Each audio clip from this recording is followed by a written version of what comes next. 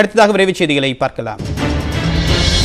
பிராந்திய பாதுகாப்பு மற்றும் நிலைத்தன்மைக்கு பரஸ்பர ஒத்துழைப்பு மிகவும் முக்கியம் என இந்தியா மத்திய ஆசிய உச்சி மாநாட்டில் பிரதமர் மோடி கூறியுள்ளார் காணொலி காட்சி வாயிலாக நடைபெற்ற இந்த கூட்டத்தில் பேசிய மோடி மூன்று இலக்குகளை முன்வைத்து இந்த உச்சி மாநாடு நடைபெறுவதாக தெரிவித்தார் இதன்படி பிராந்திய பாதுகாப்பு மற்றும் செழிப்புக்கு இந்தியா மற்றும் மத்திய ஆசிய இடையே பரஸ்பர ஒத்துழைப்பை உறுதி செய்வது நாடுகளின் ஒத்துழைப்புக்கு ஆற்றல் வாய்ந்த கட்டமைப்பை உருவாக்குவது நாடுகளிடையே ஒத்துழைப்புக்கான ஒரு லட்சிய இலக்கை தயாரிப்பது என்ற மூன்று இலக்குகளை முன்வைத்து செயல்பட வேண்டும் என அவர் தெரிவித்தார்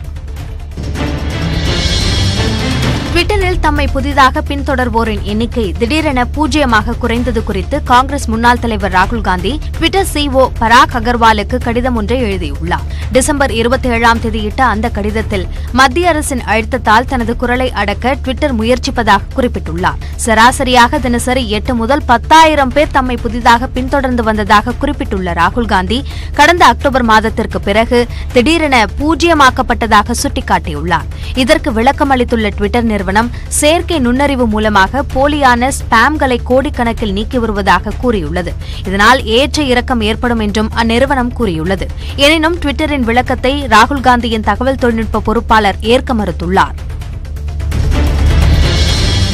சென்னையில் நடைபெற்ற குடியரசு தின அலங்கார அணிவகுப்பில்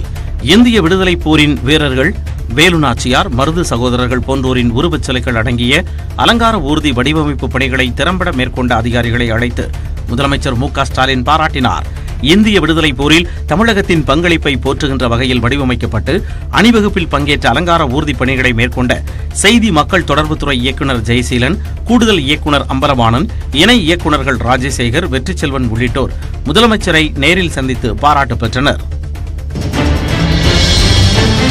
தென்காசி நெல்லை தூத்துக்குடி கன்னியாகுமரி மாவட்டங்களில் ஒரு சில இடங்களில் லேசானது முதல் மிதமான மழை பெய்யக்கூடும் என்று சென்னை வானிலை ஆய்வு மையம் தெரிவித்துள்ளது தொடர்பாக வெளியிடப்பட்டிருக்கூடிய செய்திக்குறிப்பில் உள் தமிழகத்தில்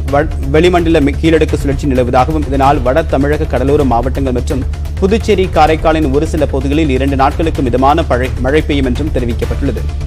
சென்னையில் அடுத்த நாற்பத்தி எட்டு மணி நேரத்திற்கு வானம் மேகமூட்டத்துடன் காணப்படும் நகரின் ஒரு சில இடங்களில் லேசான மழை பெய்யும் என்றும் தெரிவிக்கப்பட்டுள்ளது மன்னார் வளைகுடா மற்றும் குமரிக்கடல் பகுதிகளில் மணிக்கு நாற்பத்தி ஐந்து கிலோமீட்டர் வேகத்தில் காற்று வீசும் என்பதால் அந்த பகுதி மீனவர்கள் எச்சரிக்கையோடு கடலுக்கு செல்ல வேண்டும் என்றும் அறிவுறுத்தப்பட்டுள்ளது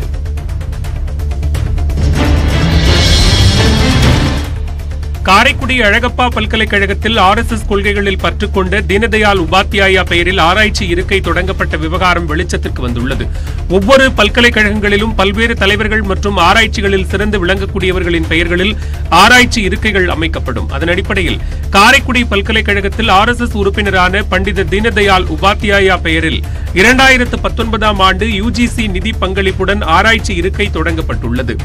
ஆராய்ச்சி இருக்கைகள் ஆரம்பிக்கும் போது அந்த தலைவர்கள் எந்தவிதமான அடையாளங்களுக்கும் உட்படாதவர்களாக இருக்க வேண்டும் ஆனால் தீனதயாள் உபாத்தியாயாவை பொறுத்தவரை இந்துத்வா கொள்கைகளில் அதிக ஈடுபாடு உடையவர் என்பதால் இதுகுறித்த சர்ச்சை எழுந்துள்ளது உபாத்தியாயா இருக்கை சார்பில் புதிய கல்விக் கொள்கையின் சிறப்பம்சங்கள் குறித்த கருத்தரங்கையும் அழகப்பா பல்கலைக்கழகம் கடந்த ஆண்டு நடத்தியுள்ளது